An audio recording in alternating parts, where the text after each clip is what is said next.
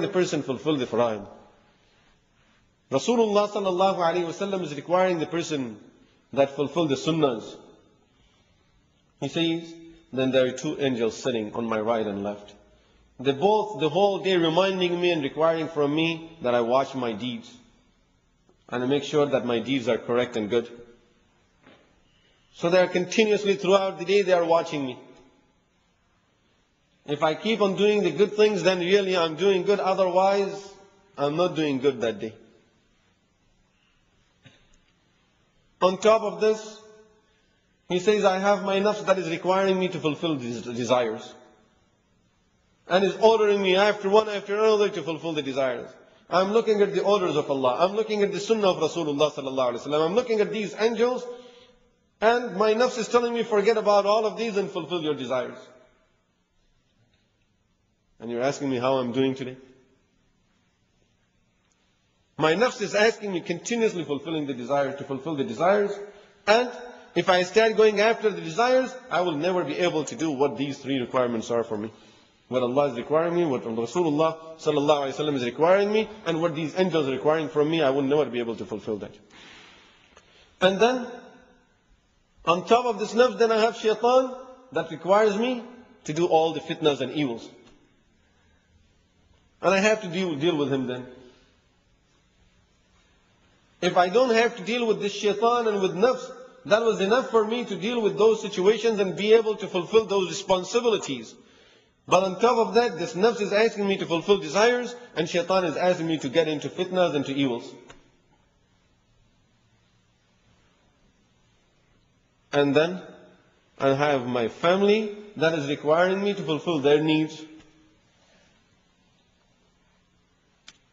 This is adding to my responsibility. Now I don't know what to do.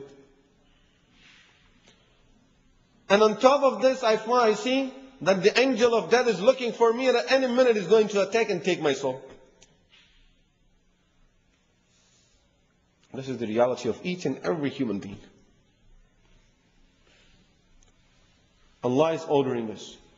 Rasulullah sallallahu alayhi wasallam is requiring us to fulfill the Sharia and to follow the Sunnah. The angels are watching us and they're writing each and everything we do. Always under watch. And nafs and shaitan are just after us. Do this, do that.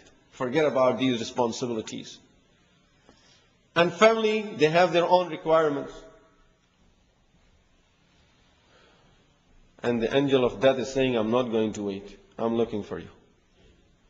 Just tell me the day. He says, No, I won't. Just be ready anytime.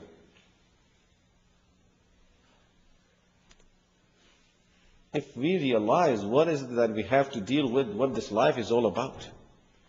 الذي خلق الموت والحياة ليبلوكم أيكم أحسن عملا who created life and death to test you to see who would do good deeds. This is the test. To see who would do good deeds after all of this. Yes, the dunya is made such.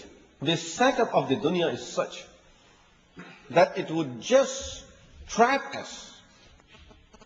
Just like a beautiful jungle that you are in it, you see, oh, it's very nice. Just like when people go to watch a movie, putting all the other things aside, whether it's what sin they will get, what they are going to see. When they go over there, the screen is set in such a way that everyone will just turn towards that screen and just pull attention towards that screen now. Don't look here and there. Don't worry about anything else that's happening in the world. Forget about the whole world. Just keep on looking at that screen there. See what's happening there. This is what dunya is all about. Is that screen that is in the theaters that would like us just to look at it at all times. The watch is telling you it's time for salah. The screen says, no, no, wait. There is something else coming very important here. The phone is ringing, shut it off. Appointments, forget about them. Don't worry about anything. The movie is not over yet. And this movie will be over only when the angel of death will come, will take us out, we'll realize, oh, the movie wasn't over and I just, I'm gone now. How am I going to do all the other things that I was supposed to do? This is what this dunya is all about. This is the setup of the dunya. That we get into it, everything invites us. Everything invites us. You enter the room, family is inviting. Our comfortable couches are inviting us. Come and sit on me. The food is inviting us. Come and eat me. The work that is in the house is inviting us. Do this and do that. And the bed is inviting us. Come have some rest, sleep. Computer is inviting us. Come do this work. The TV is inviting the person. Come watch me. Everything is inviting the person. Temptations from all around.